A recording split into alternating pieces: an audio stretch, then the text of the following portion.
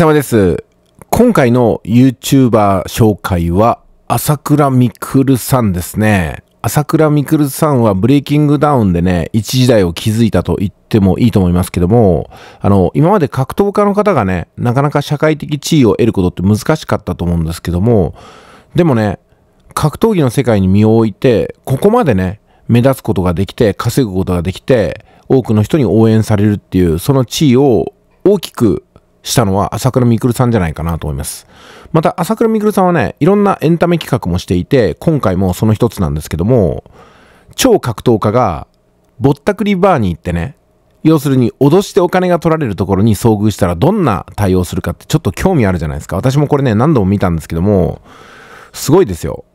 チャンネル登録者数が341万人ってのもすごいんですけども、再生数がね、3000万回越してるんですよ。なんだこれやと思いますよ。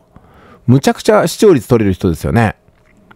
この朝倉未来さんがぼったくりバーに自らね、出かけていって、本当に普通の素人のふりをして、最後生産でどんなことをするのか。これなかなか見ものですけども、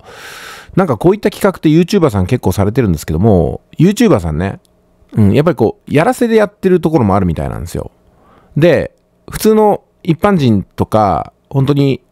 格闘技とか覚えのない方とか、度胸のない方とかがね、下手にこんなの真似して、本当にぼったくりバーに行ってね、そのまま帰ってこなかったみたいなことになってもいけないんで、こういった企画はね、えー本当にやらせぐらいがちょうどいいのかなと思います。まあでも実際に朝倉未来さんが、どんなね、腹のくくり方をしてるのかを見ることによって、まあもう本当に気をつけた方がいいなと。うん、知らない街でね、飛び込みで行くもんじゃないなと思いますんで、やっぱりチェーン店行きましょうって話になります。もしくは、しっかりとした紹介の方がいるところで、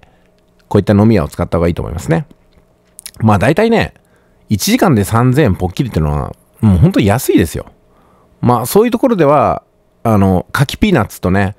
あの、水割りが1杯ぐらいだと思った方がよくって、だいたい1時間とか2時間でね、2、3万払う気持ちで、まあ、あの、女の子付きの飲み屋っていうのは行った方がいいと思いますね。うん、そういった相場ってのもありますからね、やっぱり。えーそれから、あの、いわゆるぼったくりバーをされてる方ね、うん、やっぱりきちんと接客して、リピートを取った方がいいと思いますし、結局ぼったくりバーやったら、二度とお客さんって来ないじゃないですか。新規を取るのがむちゃくちゃ大変な中で、リピーターっていうのはそんなに難しくないんですよ。だから私はね、ぼったくりバーやるよりも、結局は、何回も何回も同じ人にね、来てもらった方が、その心理的なぼったくれると思うんですよ。気に入られて、この店だったらちょっと多めに払ってもいいなっていうふうに、ファンを作ることによって、心理的にぼったくった方がね、絶対にお互いのためだと思いますんで、そういうふうにした方がいいと思いますね。えそれでは、ぼったくりバーに行ってどんなことが起きるのか、13分の動画ですんで、概要欄からご覧いただければと思います。